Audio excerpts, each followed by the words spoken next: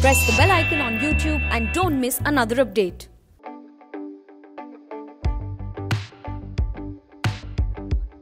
Good evening, this is Suvir Saran with Slice of Life by Indian Express. Today I bring to you Smita Tharoor, a woman who I adore, admire and respect deeply, a Londoner by way of Kerala, but many more stops in between. And she'll talk to us about her life as a Londoner, as a human being, and most importantly as an expert on unconscious bias. And my first question to Smita is the question you have for her too. What do you mean by unconscious bias? What do, what do those two words mean to you, Smita? Would you enlighten us, please? I'm glad you're asking me that question, Suvir, because it's just two simple words, unconscious bias. And often people might think, ah, what does that mean? I'm not sure what that means. I know what bias means, but what do you mean unconscious bias? Very simply put, unconscious bias means that you have a preference, and the next two words are important, for or against a person, a thing, a, a country, a, a, an ethnicity, it doesn't matter what, and you don't realize that you actually have the preference. So it's very instinctive, and you make an assumption, or you make a judgment, or you jump to a conclusion without realizing that you have made that conclusion, or you have come to that conclusion, should I say. I hope that makes sense. So that's really all that unconscious bias is. My preference and my conclusion about Smita Tharoor is to have her as a friend and a woman I respect and admire. That may be my unconscious bias, but I also know that it comes from a good place. And my second question for Smita now is, how do we get unconscious bias, subconscious bias, and what are those things that we should be uh, going back into in our lives? Or how do we rattle our brains into thinking about it? Um, how how do we get unconscious bias Smita? And what can you tell us about it? Great question. I mean yes i can explain unconscious bias but then how do we get them of course it's important for us to understand that as you are a michelin star chef Suvir, i thought let me try and give you examples that are related to to cooking uh, where we might have got unconscious biases or eating. Uh, and, and I was trying to, to think of examples uh, to connect with, with your expertise. Um, and I was thinking of when I was about, I can't remember, maybe 20, I decided I am going to learn to make keema matar. And uh, let's not go into too much detail, but it was disastrous. And so every time anybody mentioned anything about keema matar or cooking, I had made a decision that I couldn't do it. I never attempted it for a very long time. Purely because I had failed only once, just once, but I had failed. And it took me uh, at least a couple of years before I attempted to make it again. Or uh, another story that's mine, when I think I can't remember how old I was, maybe about seven or eight, I had some prawns and I got quite sick. My stomach was quite upset. Uh, my mother continued to make prawns in the home. Um, you know, the rest of the family were eating it, but I wasn't. Because my instinctive unconscious bias was don't eat it to keep yourself safe.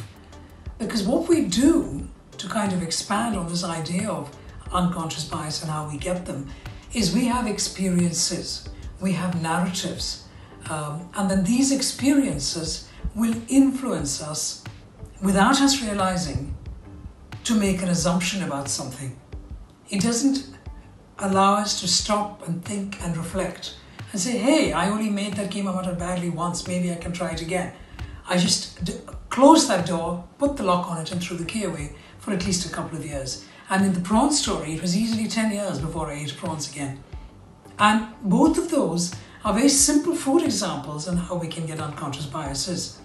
We can get them, of course, in, in, in far more uh, um, serious environments like recruitment within an organization I mean, let's imagine your best friend is somebody from Kerala, a Malayali, and that person is still your best friend, and you are recruiting, and you happen to have a Malayali, a, um, a Punjabi, and a Bengali final interviews for these three people. Without you realizing it, you will have a natural positive instinct towards this Malayali who you know nothing about. Purely because when you think of Malayalis, you think of your best friend. And that has subliminally, instinctively unconsciously influenced you. So, what I'm saying is, how do we get unconscious biases? We get it from our narrative, we get it from our experiences, we get it from good, bad, and ugly experiences. We get it from, from the world at large, the movies we see, the books we read, the television channels that we watch, and so many other ways. But that's how we get unconscious biases. Hope that makes sense, Suvir. Now that Smita has told us that the narratives that we've grown up with, the experiences we've had from our own making, like the keema matar and the prawns, and then the friendships we've built and how they influence the jobs we may hire people for or how we interview and the other people bring biases with them. My question to uh, Smita is, how do we challenge them? How do we uh, get out of the shackles that control us in the form of unconscious bias? And Smita, would you tell us about that, please? So, yes, of course, what are we going to do about it? I mean, we don't even know that we have these biases because they're unconscious. So, then how do we learn to challenge them? Now, as you know, I've had the, the privilege of, of um, interviewing so many people around the world for my podcast series on unconscious bias. And every one of them answers the same question that you've just asked me with all kinds of different ways of how they challenge their own unconscious biases. Um, simply put, I would say reflect. Uh, you may have jumped to a conclusion and then think back and say, hmm, was that fair? Was that right? Uh, did I did I do the right thing by thinking what I did? Um, some people have said, listen, listen with big, big, big ears and genuinely hear what the person is saying to you rather than hearing what you want to hear. Um, somebody else that I interviewed the other day said, if you have the opportunity, travel. Get out of your comfort zone. Go into places that don't make you comfortable. And when you're somewhere else, you will see that there are so many other ways uh, uh, the world operates, and therefore you will be able to challenge your unconscious biases.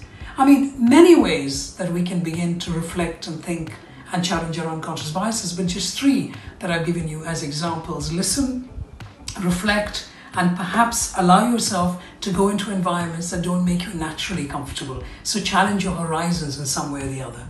I hope that's made some sense, Suvir. It's been great talking to you. Smita has so uh, eloquently and with erudition told us to listen, to travel, and to reflect, to meditate upon these challenges and biases.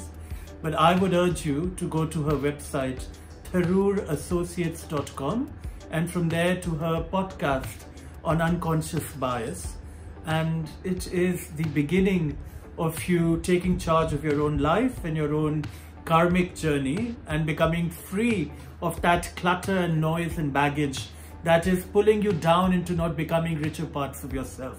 So follow Smita to her podcast and from there go inside your own self and remove these obstacles that biases in your own mind and psyche are having upon you and become a free person and live a better, richer life. And uh, Smita, if you're listening to us, I'm grateful to you for having joined me for this conversation and I thank everybody else for tuning in. Slice of Life by Indian Express.